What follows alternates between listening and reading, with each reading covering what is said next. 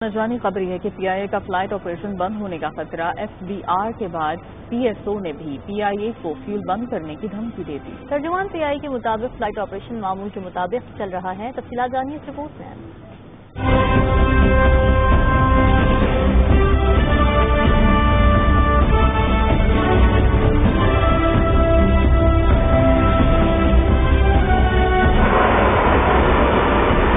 PIA का flight operation बंद होने का खतरा। पीएसओ ने फौरी तौर पर एक अरब पचास करोड़ रुपए अदा करने का पैगाम जारी कर दिया। एफबीआर की जानब से पहले ही पीआईए के अकाउंट मुंजमिद कर दिए गए हैं। जराये पीएसओ के मुताबिक यकूम नवंबर से सत्ताईस नवंबर तक। पीआईए को पाँच अरब दो करोड़ बीस लाख रुपए का फ्यूल दिया गया। पीआईए ने फ्यूल की मद में तीन अरब इक्यानवे करोड़ साठ लाख रुपए की अदायगी की है। पीआईए ने एक अरब दस करोड़ साठ लाख रुपए फ्यूल के वाजिबात की अदायगी ताहाल नहीं की। जराये के मुताबिक पीआईए की क्रेडिट लाइन बिल्कुल खत्म होने को है। जराये पीएसओ का कहना है कि अदायगी न होने पर फ्यूल सप्लाई जारी रखना मुमकिन न होगा। दूसरी जानब एफ़ ने मुल्क भर में पीआईए के अकाउंट मुंजमित कर दिए। पीआईए को मजमूरी तौर आरोप साढ़े चार अरब रूपए की अदायगी करनी है।